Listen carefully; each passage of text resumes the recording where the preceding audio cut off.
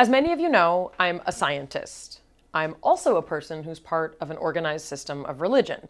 In particular, I'm Jewish, and I believe in the tenets of Judaism, and I actually get a lot out of religious observance. You might be wondering, how can you be a scientist and also be a religious person? Scientists are only supposed to believe in observable, quantifiable things that they can physically have proof of. Isn't being religious fundamentally in opposition to everything that being a scientist is about? These are good questions.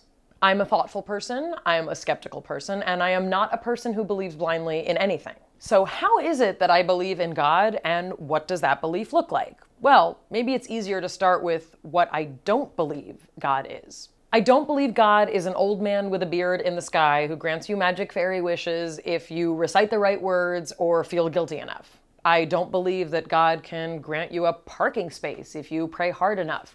And I don't believe that God has set up some code of behavior, and if I don't live by it, I won't be granted my place in heaven among the angels. So if the God I believe in isn't all of those things, who is God? Well, the God I believe in is the force in the universe that drives all of the phenomena that we experience as human beings. God is gravity and God is centrifugal force and God is the answer to why everything is the way it is in the natural world. You might be thinking, well, that's not God, that's just science. I guess you're right, but in my cultural and religious tradition that goes back thousands of years, we have a tremendous sense of gratitude and humility for our place in the natural and scientific world. Understanding equations that describe gravity and pressure and force and torque is science, and that's amazing. But having a spiritual connection with that information, so much so that it brings you to your knees because it is so unbelievable,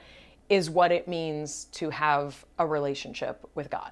I also ascribe our ability to think, to reason, to love, to build, to create as divine because it's amazing that we exist.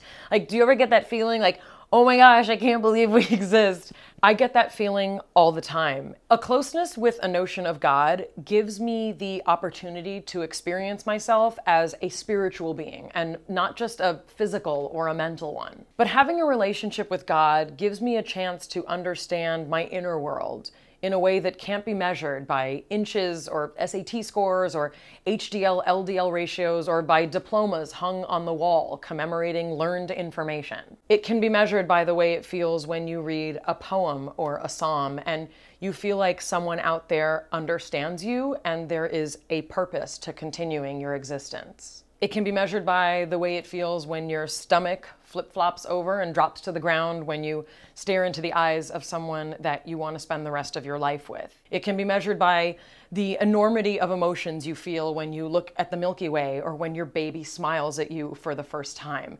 It can be measured by the depths of despair that you feel when someone breaks your heart. And it can also be measured by the hope you feel when you know that you will love again.